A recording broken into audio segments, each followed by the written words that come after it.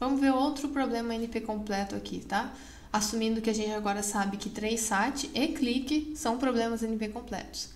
Eu tenho agora o problema do vertex cover, ou cobertura por vértices. Eu tenho então um parzinho grafo e um inteiro, e eu quero saber se existe um subconjunto de vértices, tal que toda aresta do grafo tem alguma ponta em S. Algum extremo dessa aresta está em S. Pode ser os dois, mas pelo menos um está em S. Só que eu não quero S muito grande, eu quero que S seja menor ou igual a K. Então, por exemplo, nesse grafo aqui, ah, vamos olhar para a instância G1.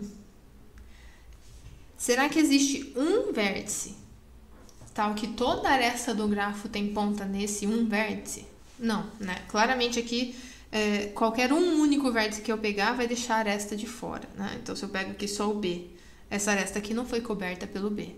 Então, isso aqui é uma instância não, certo? Será que existe um conjunto com cinco vértices, tal que toda a aresta do grafo está ali? É, bom, olha, se a gente pega o vértice F, então a gente está cobrindo várias arestas já de uma vez, né? Porque F tinha um grau bem alto. Aí eu posso pegar o vértice C para cobrir essas outras três arestas aqui. O vértice G pode cobrir essas duas. Ainda tem aresta ali que não tem ponta no, no, nos vértices que eu estou pegando, né? Então eu tenho que pegar aqui, por exemplo, D para cobrir essa. Posso pegar B ou A, tanto faz, né, para cobrir essa aqui. E aí também I ou H para cobrir essa última. Agora sim, toda aresta do meu grafo tem uma ponta em um desses vértices que eu escolhi, que é o conjunto B, C, D, F e G. Mas isso aqui não tem cinco vértices, né? Inclusive, isso me diz que G6 é uma instância sim. Tá aqui o certificado. Esses seis vértices aqui me mostram que ela é uma instância sim. Com cinco vértices, a gente ainda não vai conseguir fazer, tá? Então, G5 ali é uma instância não. Para provar que esse problema é NP completo, o que, que a gente precisa? Mesma coisa, né? Primeiro mostrar que ele está em NP e depois reduzir de alguém que já é NP completo para ele, certo? E a gente vai usar clique, tá? Que agora a gente sabe que clique é NP completo e vai tentar relacionar clique com esse, com esse problema. Bom, ele claramente está em NP, também já comentei um pouquinho disso antes, porque dado qualquer grafo com valor K, se isso for uma instância assim, existe uma forma de certificar, né? Basta me mostrar um conjunto lá que cobre todos os vértices, todas as arestas. Então, se eu te dou uma instância em um certo conjunto S de vértices, é fácil você verificar se esse S cobre as arestas, se todas as arestas têm uma ponta em S, e se S tem tamanho no máximo K. Conta lá quantos vértices S tem, né? Isso também é bem fácil. Fácil no sentido de pode ser feito em tempo polinomial. Agora a questão é, eu preciso reduzir da clique, que já é um problema NP completo, para esse problema de cobertura por vértices. Tá? Então, preciso, dado um grafo qualquer e um valor K inteiro, será que eu consigo construir uma instância para o problema do, do vertex cover, de tal forma que se eu tiver uma cobertura por vértices lá, eu vou ter uma clique, se eu tiver uma clique, eu vou ter uma cobertura por vértices? Então, veja, a entrada para o vertex cover também é um parzinho grafo um valor inteiro, né? Então, por que não fazer nada, né? Se eu tiver uma cobertura por vértices aqui de tamanho 4, significa que eu vou ter uma clique de tamanho 4? Uh, ah, nesse aqui em particular, a gente sabe que só vai conseguir cobrir todas as arestas quando a gente pegar seis vértices, né? Tem uma clique de tamanho 6 aqui? Não, né? Então, é, eu preciso realmente fazer alguma transformação nessa entrada. E aqui é bem interessante a transformação que a gente vai fazer. É, eu vou olhar para o grafo complemento do meu grafo original. Né? Então, toda vez que eu não tenho aresta aqui, eu vou ter aresta aqui. para todo par de vértices que não tiver aresta em G, a aresta vai aparecer aqui.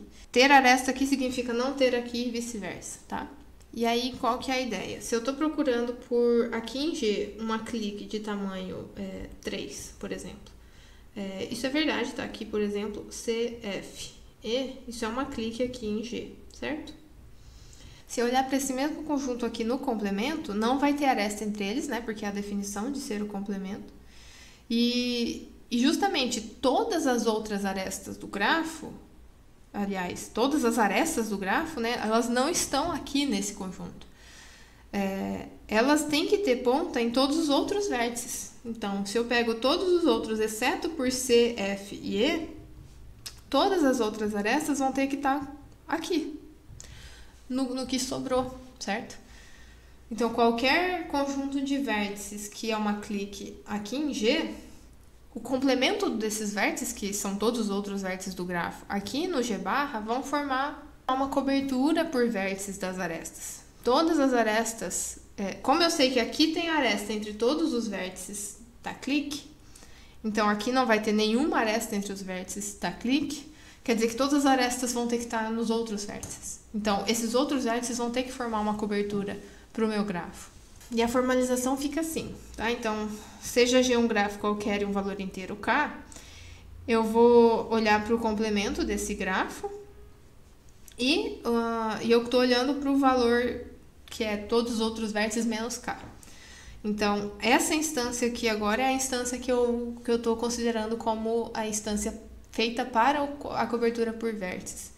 E aquela instância que, bom, primeiro ela foi construída em tempo polinomial, porque eu só inverti as, as arestas no meu grafo.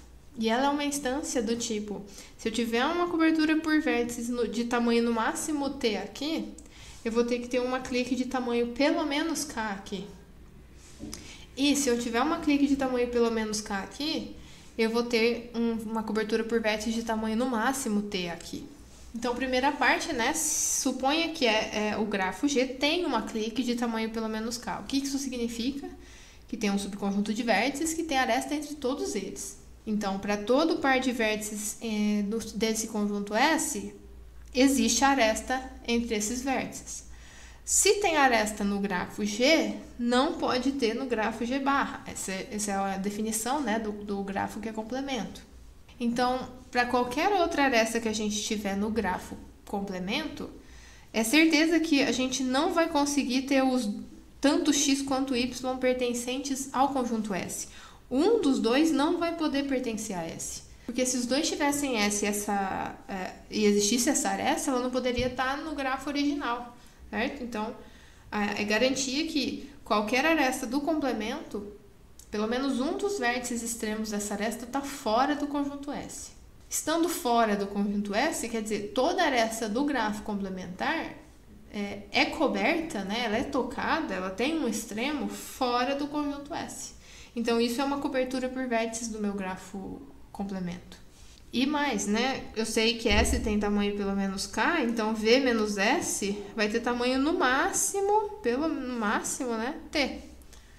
Então, de fato, G barra e T é uma instância sim para o problema da cobertura por vértices. Por outro lado, se a gente tem, é, se eu suponho né, que G barra contém uma cobertura por vértices é, que tenha tamanho no máximo T, então o que isso significa? Que qualquer aresta do G barra tem uma ponta em S. Certo? Então, toda aresta do G barra, um dos extremos vai estar em S. Pode ser que seja ambos, mas pelo menos um vai ter que estar em S. Então, sabendo que pelo menos um deles vai estar em S, sempre que a gente tiver os dois fora de S, significa que não vai poder ter essa aresta em, no complemento, certo? Então, quaisquer dois vértices que os dois estejam fora de S, não pode ter aresta entre eles, porque senão ela não seria coberta, né, pelos vértices de S. Não tendo aresta no complemento significa que essa aresta existe no grafo original. Então, no grafo original, qualquer par de vértices que não está em S tem aresta entre eles. Então, isso tem que ser uma clique.